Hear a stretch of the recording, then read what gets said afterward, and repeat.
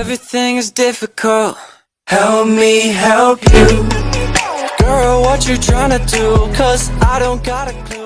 جی ہاں یہ خبر آج کے روزنامہ ناچیٹی نیوز لاہور ایڈیشن کا حصہ بھی ہے اسی پر بات کرتے ہیں ایڈیٹر فورم روزنامہ ناچیٹی نیوز رانا عظیم صاحب ہمارے ساتھ ہی موجود ہیں رانا عظیم کیا لگتا ہے کہ اب کیا ہوگا آگے کیا یہ جو رنجشیں ہیں مزید بڑھنے کے امکانات ہیں بالکل رنجش سے مزید بڑھنے کے امکانات ہیں کیونکہ میاں نواز شریف کا جانشین جو ہے تمام سیاسی لوگ اس کی فیملی کے اندر سمجھتے تھے کہ ہم تو شہباز شریف ہے اور میاں شریف کی اپنی فیملی میں یہ بات یہ کہہ بھی چکے تھے اپنی زندگی کے میں کہ میاں نواز شریف کا اگر کوئی جانشین ہوگا تو ہم تو شہباز ہوگا۔ اب صورتحال آہستہ آہستہ چینج ہوتی جا رہی ہے۔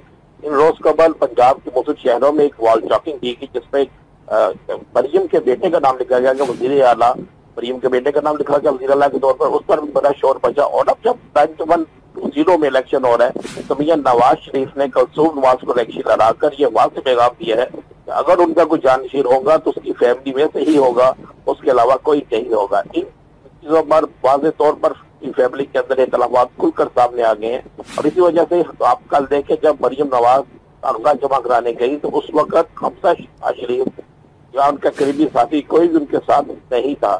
اور اس سارے واقعے کے بعد اب لاہور میں جو میاں نواز شریف کے استقبال ہے، اس میں بھی حمزہ شباب کی شرکت جو شرکت تو ہوگی، مگر اس میں دلچسپی جو ہے وہ نہ ہونے کے برابر رہیں گی صحیح رانا عظیم شکریہ آپ کا۔